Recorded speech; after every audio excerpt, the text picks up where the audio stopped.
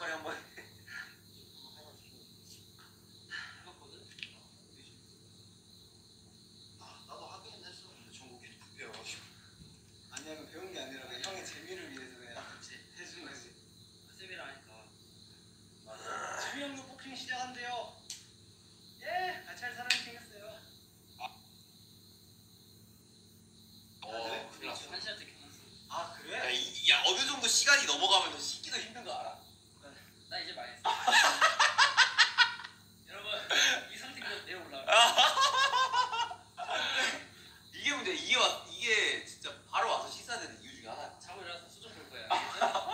근데 우리 방송국에서 엄청 보잖아요. 어. 새벽에 가지고 하고 들어가서 씻고 다시 하기에는 일곱 명이 또 많으니까. 아 너무 애매했지. 미쳤어? 와 이거 쫄면 냄새야? 저기 보쌈 좀 더. 아 보쌈. 좀 먹을래? 아, 단, 낙국수는 나는 안 먹지. 단백질 보충 한번 해. 아이스크림이 있다 아이스크림 먹을래? 나 내일 먹